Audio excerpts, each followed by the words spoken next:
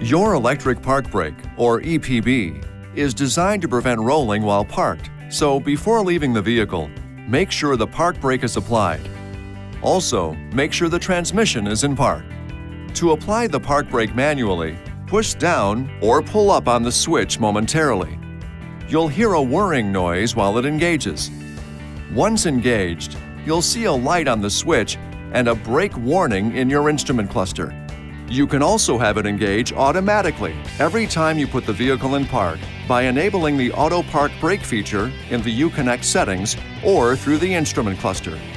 The park brake will release anytime the ignition is cycled into the run position, the transmission is in drive or reverse, and the seatbelt is buckled.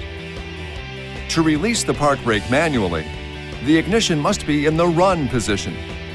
Press the brake pedal, then push the park brake switch momentarily. Once the park brake is disengaged, the brake warning lamp and switch light will both go out.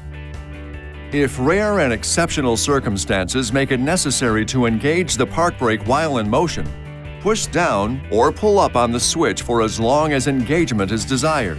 The brake warning lamp will appear and you'll hear a warning chime.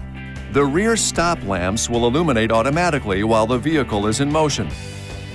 To disengage the park brake while in motion, release the switch.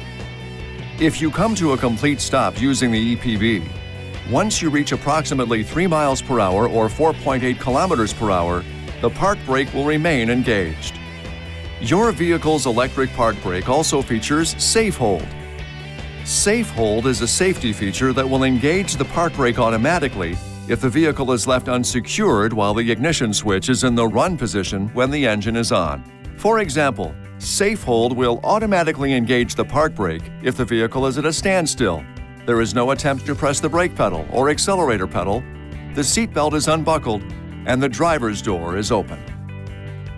This video is not intended to take the place of your owner's manual. For complete details and other important safety information, please see your owner's information.